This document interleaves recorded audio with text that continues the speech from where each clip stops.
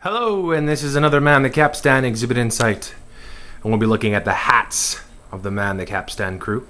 This is one example of the kind of hats that we wear. This is worn by the 2nd Royal Navy uniform.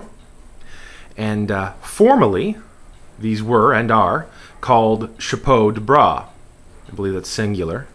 It's a French word, of course.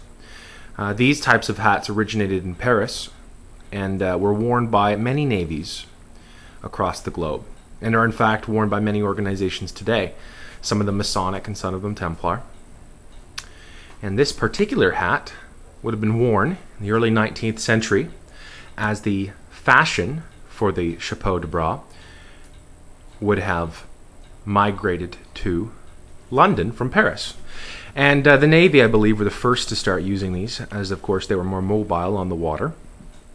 The actual word chapeau de bras means hat of the arm, uh, which literally means that this hat is supposed to be foldable and collapsible, so you can tuck it right under your arm when you're not wearing it, uh, which was found to be quite popular. It replaced the old tricorn method of wearing a hat for the Navy, as this hat is worn fore and aft. So this here would be at the front, and we have the back here as well. Now, we ordered these hats from Hat Crafters, which is a fantastic company in the States. It's hatcrafters.com. They uh, have a lovely assortment of hats of all eras and all styles and all shapes. And I wonder if I can get you a. Uh, there we go. Right in there. Hat Crafters. That's the item number if you're interested. Uh, these hats are really quite splendidly done. Now, um, when we ordered them, they were bare. It's a, just a wool felt, black wool felt hat. didn't have any trimming, no extras on it. And we added the, uh, the gold trim that comes around the hat. We added the bullion at the peaks. And we added the rosette and the button. We'll get a close-up of both here.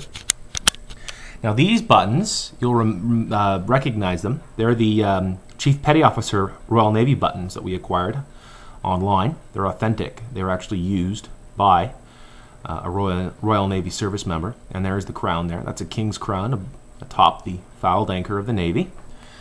And there's our bias and stand trim. That's half inch. It's just been doubled up. And there's our cockade, our rosette.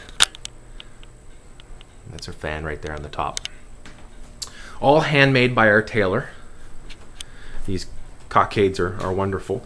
Now the uh, fringe on the peaks is actually real bullion fringe that was acquired online as well. A lovely addition. And uh, perhaps one of the more expensive additions to Man the Capstan, but you know one of the more important ones too. Uh, you certainly can't have a uniform without the headdress. It's a part of the uniform. It's, it's a very symbolic part of the uniform as well. And there are certain regulations that determine when you would wear it and when you wouldn't, and when you'd tip it and when you'd raise it. And uh, we've done the research on that to try to emulate it as best as we can. We have the Royal Marine one upstairs. I won't uh, show you that one though, because it's very similar to this one, save the lace. Uh, the lace is a silver gilt wire lace. But that's it for now. Until another update from Man the Capstan. Call all hands to man the capstan. See the cable run down clear.